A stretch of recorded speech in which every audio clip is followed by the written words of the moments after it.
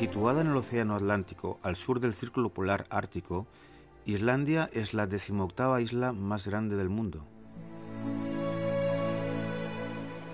Compuesta de basalto y lava petrificada, la isla marca el límite entre la placa euroasiática y la placa norteamericana llamada la dorsal atlántica, la cual es una cordillera volcánica sumergida.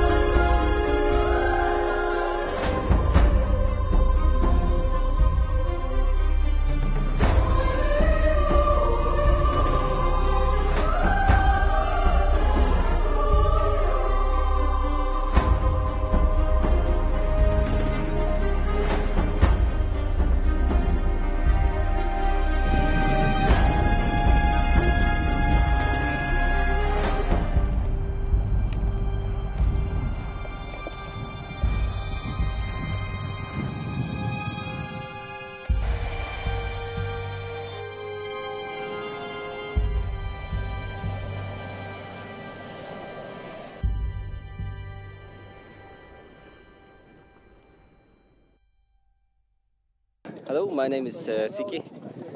Uh, we are at, at, the moment in, in Iceland. Uh, we are at the uh, glacier Svinafellsjökull, which is uh, an outlet glacier from uh, Vatnajökull, the uh, biggest glacier in, uh, in Europe. So, uh, yeah, the ice on this glacier tongue is about 300 to 350 years old.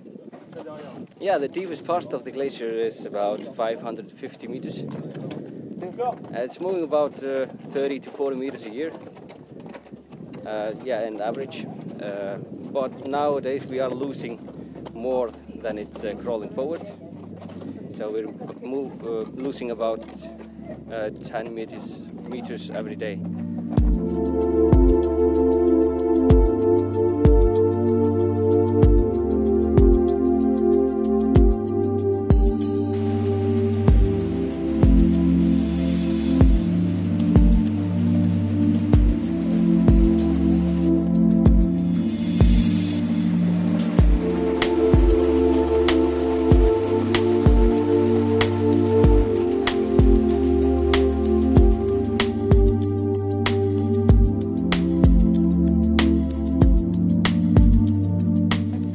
So to form a glacier, you have to have more snow in the winter than uh, melts during the summer.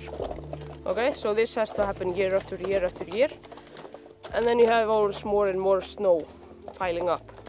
Okay, and then uh, when you have en- enough pressure, uh, or well, enough snow to create enough pressure, then the bottom layers of the snow turn into ice crystals. So uh, the ice on the glacier it's not compressed, uh, it's not frozen water, but compressed snow. Okay, so then you have more snow on top of that, always more and more and more. And uh, then you always have more and more pressure as well. And in the end, the uh, bottom layers of the ice turn into kind of a, a liquidy substance. So it's like a very, very, well, it's somewhere between being water and ice. So it starts to spread out. Okay, so you have a glacier when it's starting to spread out from under its own weight. Okay, so, uh, well, uh, higher up there is uh, the Vatnajökull ice cap, and then this ice is uh, flowing down here, getting pushed down here by the weight of the glacier.